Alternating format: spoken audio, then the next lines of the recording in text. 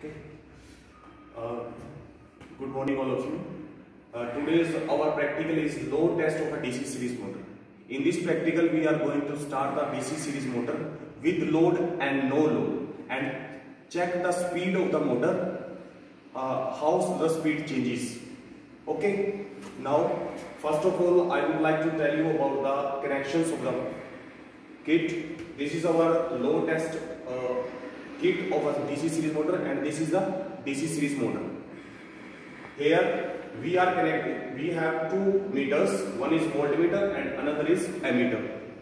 Voltmeter is connected to the parallel across the supply and ammeter is connected in series with the supply and a starter is connected with armature and field winding. Here armature winding of the motor and field winding are connected with the motor terminals through this wire.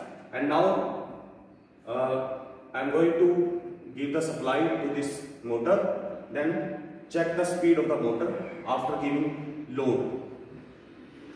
This is our MCB and uh, now here I am giving the DC supply to this motor.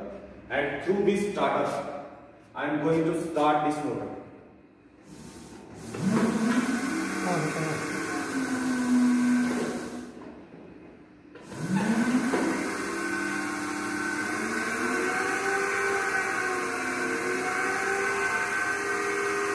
As you see, this motor has been started and when uh, we increase the load on the motor, you see here current is increasing and speed decreases.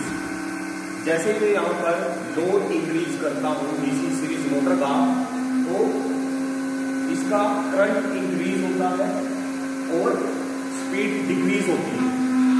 ठीक है? तो that is our load test of DC series motor okay thank you very much